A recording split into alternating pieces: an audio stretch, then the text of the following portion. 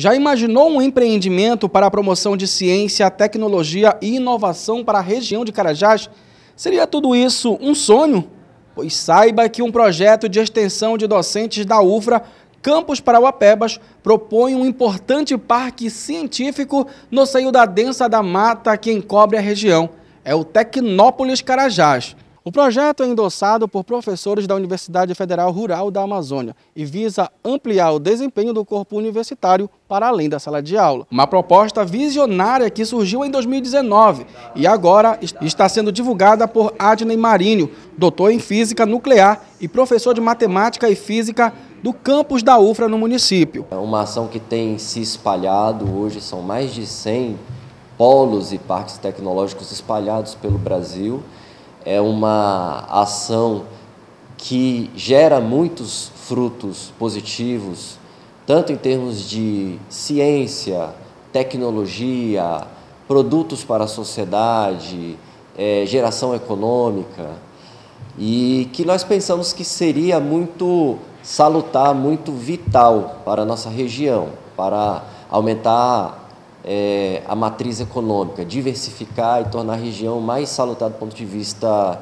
tecnológico e econômico. Então, o objetivo principal é realmente chegar a um resultado positivo e tentar implementar essa ação. A previsão para a execução do projeto depende também do interesse de empresas e Poder Executivo Municipal, visto que este é um projeto audacioso que requer grandes investimentos. Um projeto de longo prazo, entre 5 a 10 anos. Bem pontuado. De fato, é um projeto audacioso. Ele, é, o investimento é da monta de milhões de reais, centenas, até centenas de milhões de reais. E nós podemos dizer que, geralmente, da experiência dos outros polos e parques tecnológicos no país, existe uma estimativa de aproximadamente 10 anos entre o lançamento da iniciativa e a consecução.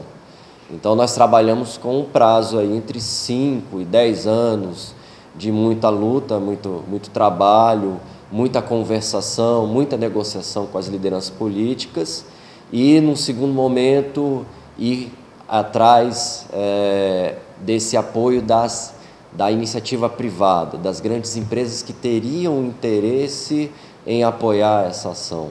Professor de aquicultura Leonardo Vaz Pereira também está engajado. Ele lembra que assim que tomou conhecimento sobre a criação da cidade tecnológica em Carajás, ficou um tanto duvidoso se seria um sonho bem distante ou uma possibilidade próxima à realidade. Hoje, acredita que Parauapebas pode se tornar uma grande referência tecnológica na região norte do país. A primeiro momento, todos concordaram, né, mas nem todos permaneceram no projeto. E, mas o projeto ainda é aberto e pode receber novos e mais professores, tanto daqui mesmo da UFA como de fora.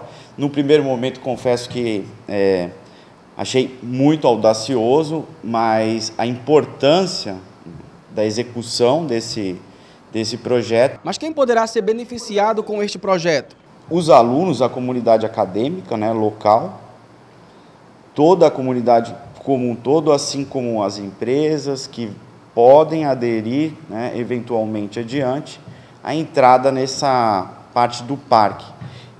Num contexto geral, todo cidadão empreendedor pode se beneficiar do parque partir do momento que as ideias comecem a ser executadas num local próprio. No Brasil, o parque instalado em Eugênio de Melo, distrito da Zona Leste de São José dos Campos, no estado de São Paulo, é exemplo que o projeto ajuda significativamente a diversidade econômica, acadêmica e urbana.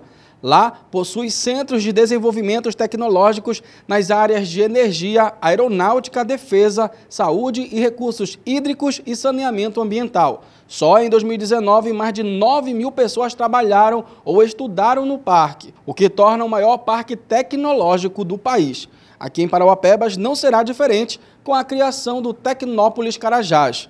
Então, a nossa iniciativa é uma iniciativa de caráter extremamente democrático, não é uma iniciativa que sai apenas da universidade e vai para a iniciativa privada, para o empresariado, o grande empresariado, a grande indústria. É uma iniciativa que se espraia e se oferece para toda a sociedade.